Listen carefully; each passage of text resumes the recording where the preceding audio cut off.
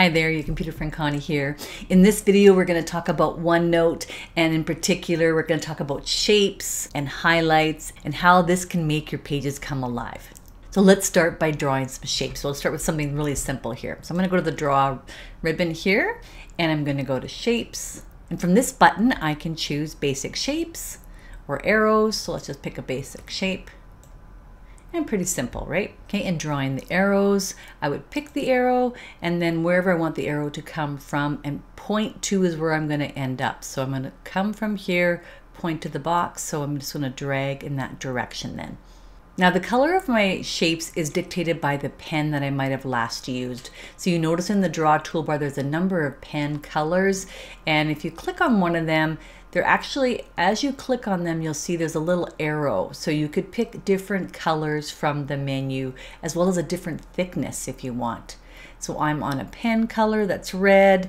If I don't want to change it, I can just click on that color there. And because I had my arrow highlighted at the time, it's changed my arrow to that color. Let's draw another shape, but let's use the blue highlighter so it looks quite different. So I'm gonna go to shapes draw the oval and there you can see the highlighter. And if I don't like that color, I can see what it looks like in different colors with that shape still selected. Now, I don't have to use shapes to draw. I can certainly just take a pen and I can draw whatever I want or highlight whatever I want. So let's find out where you would use this in practical terms within OneNote. And so I'm going to go to an existing page um, so you can see it in use there. So I'm going to go to my meeting notes page here. And let's say that I wanted to really put some attention to something that's on this page. I have a couple of highlights already going, but maybe I want more than that. Maybe I want to circle around something. So I'm going to go to my shapes and let's choose the circle. And let's say I'm going to start a little bit of ways. Now that didn't go quite where I wanted it to, so I do have a four-headed arrow that I can use to move that circle over. And so now I have a circle around the word meeting notes. So that's kind of fun. I can certainly do that, of course, with the squares. But this time, let's maybe make it a little bit different. I'll choose the red again, and let's make a square. Ah, for some, I chose a red again. You saw me pick the square, but it didn't keep that shape. It's now letting me draw freehand. So let's just undo that. So I have red selected. Let's go back to shapes. Let's pick the square. So the square has to be picked after the color is what we learned from that. So let's go here and let's create that box. And again, I didn't line it up the best way possible. So I'm gonna have to move that box over. So I don't see a four-headed arrow coming up that would help me move this box over. So I actually have to get out of pen mode to do that. So I'm gonna go to the, my, my draw toolbar and the icon that has an A and a cursor on it, that is letting me go back to selecting my text or selecting objects. So let's click on that. And now I get a four-headed arrow and now I can move the box over and maybe resize it a bit so it doesn't cover my other text here.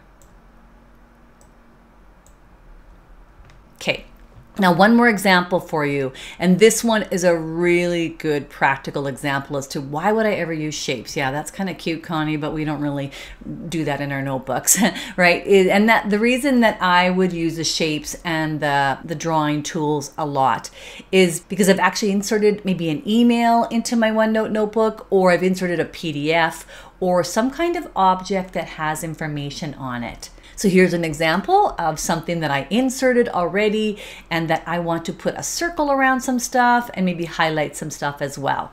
And you see I've already got the arrows in place to tell me what to do. So let's go back to that draw toolbar and let's pick, uh, let's pick a different color this time. I'm just gonna go to my drop down and let's pick a green. And then we'll pick our shape. And so we wanna do a circle so I'll go far away from that text. Nah, still not quite far enough.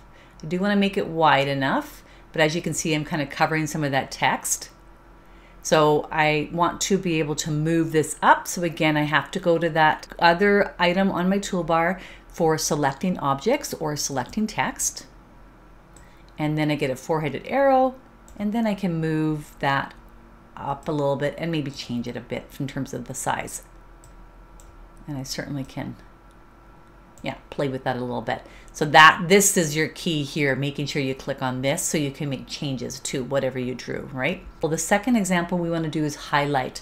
So this is a great thing that you want to consider is that, okay, I have this object, or in this case, a PDF in front of me, and I want to highlight it like I would highlight a book or a piece of paper and stuff. So how do I highlight? The best way to highlight is use your highlighter on your draw toolbar. So we're going to go to the highlighter here, and we're just going to start highlighting. Um, I kind of want it to be a little bit thicker, so I'm going to just undo that. And I'm going to go to the drop down beside my highlighter, and I see I have it on the smallest thickness. So I'm just going to go over here to make it really thick. That's maybe a little bit too thick. That will go halfways. Okay, click on it again.